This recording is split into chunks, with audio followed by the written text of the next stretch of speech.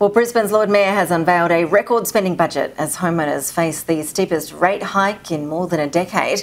Claire Todd Hunter is live for us in Brisbane. Claire, it appears this budget is really focused on southeast Queensland's housing affordability crisis.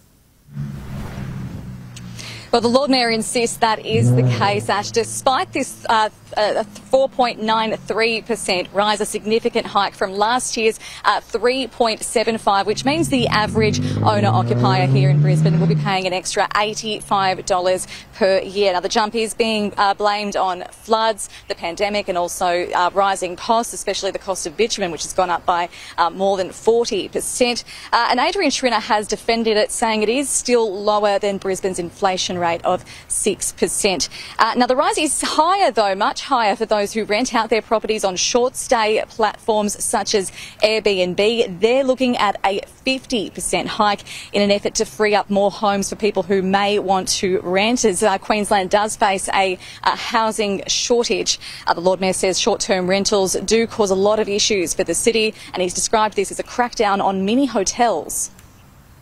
The short term rental trend, which is facilitated by well known booking apps, removes homes from the long term rental market.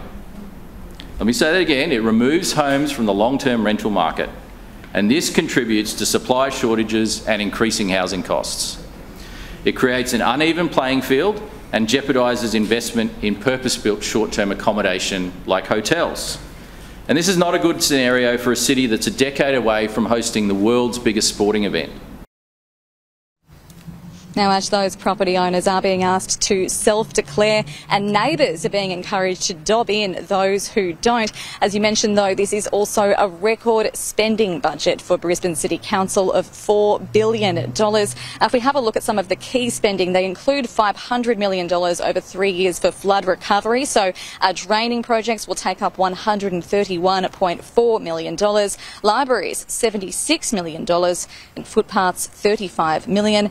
Meantime, the Sun Safe Suburban Playground program over three years will be $10 million and road resurfacing of $83 million. Ash. Claire Todd live in Brisbane. Thank you.